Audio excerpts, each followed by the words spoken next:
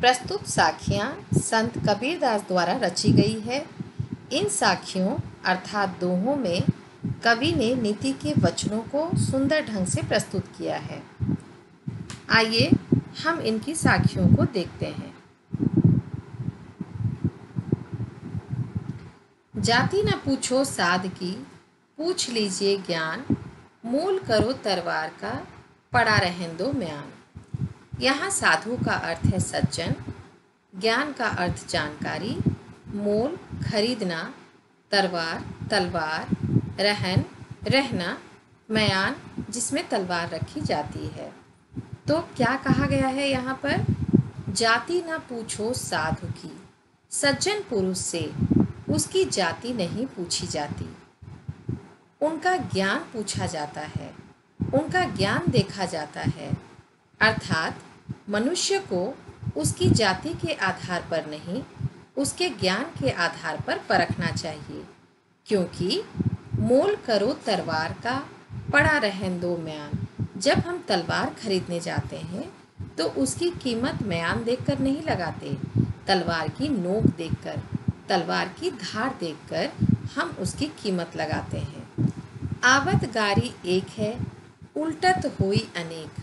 कह कबीर नहीं उलटिए वही एक की एक। यहाँ आवत का अर्थ है आते हुए, गारी का अर्थ है गाली, उल्टत का अर्थ है पलट कर होई का अर्थ है होती, अनेक का अर्थ है बहुत सारी।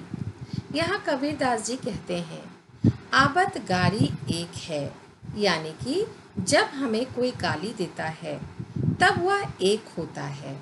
उल्टत होई अनेक अगर हम उसे पलटकर गाली देते हैं तो वो बढ़ते बढ़ते अनेक हो जाता है। कह कबीर नहीं उलटिए, वही एक की एक। कबीर दास जी कहते हैं कि अगर हम उस गाली के बदले में गाली नहीं देंगे, उस गाली पर अगर हम ध्यान ही नहीं देंगे तो वो एक की एक ही रह जाएगी। बात वहीं की वहीं खत्म हो जाएगी। इसलिए मनुष्य को बुरे वचन का परित्याग कर देना चाहिए।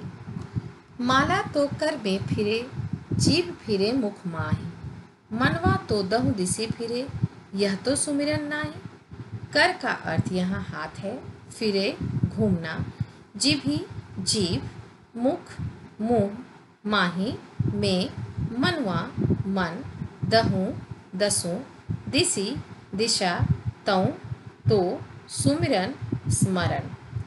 यहाँ कबीरदास जी कहते हैं, माला को हाथ में लेकर, यहाँ देखिए, कर लिखा हुआ है, माला तो कर में फिरे, माला को हाथ में लेकर मनुष्य मन को घुमाता है। जीव फिरे मुख माही, और जीव मुख के अंदर घूमती रहती है। परंतु मनुष्य का चंचल मन जो है, वो दहू दिशी फिरे सभी दिशाओं में घूमता रहता है। मानव का मन जो है, वो गतिशील है, जो बिना विचारे इधर उधर घूमता रहता है। लेकिन भगवान का नाम नहीं लेता, क्या यह सही अर्थों में स्मरण है? नहीं, ये सच्चे अर्थ में स्मरण नहीं है। कबीर घास न नींदिए, जो पाँव तली हो उड़ी पड़े जब आँखी में खरी दुहेली होई निंदिए, निंदा करना, पाँव पाँव, तली, नीचे, आँखी, आँख, खरी, कठिन, दुहेली, दुख देने वाली। कबीरदास जी कहते हैं कि हमें कभी भी घास की निंदा नहीं करनी चाहिए। उसे कभी भी छोटा नहीं समझना चाहिए। उसे कभी भी तुच्छ नहीं समझना चाहिए। जो पाँव तली हुई, वो हमारे पैर के अंदर होता है। यानी कि ये तुच्छ सा वस्तु है। इसे कभी भी छोटा नहीं समझना चाहिए। क्यों? क्योंकि उड़ी पड़े जब आँख में खड़ी दुहेली हुई। अगर एक छोटा सा तिनका भी आँख में गिर जाता है तो वो बहुत दुख देता है। अर्थात हमें छोटा समझकर किसी पर अत्याचार नहीं करना चाहिए। क्योंकि कभी कभी वो छोटा से छोटा वस्तु भी हमें बड़ा कष्ट देने के लायक होता है। जग में बैरी कोई नहीं, जो मन शीतल हो या आपा को डारी दे, दया करे सब कोई। जग, संसार, बैरी, शत्रु, शीतल, शांति, आपा, स्वार्थ या घमंड। कबीरदास जी कहते हैं, मनुष्य का मन अगर शांत हो, जो मन शीतल हो अगर मनुष्य का मन शांत हो तो इस संसार में उसका कोई शत्रु नहीं हो सकता। यदि सभी मनुष्य स्वार्थ का त्याग कर दें तो सभी दयावान बन सकते हैं। अर्थात, मनुष्य को अपने अहंकार का त्याग कर सभी से मानवता का व्यवहार रखना चाहिए।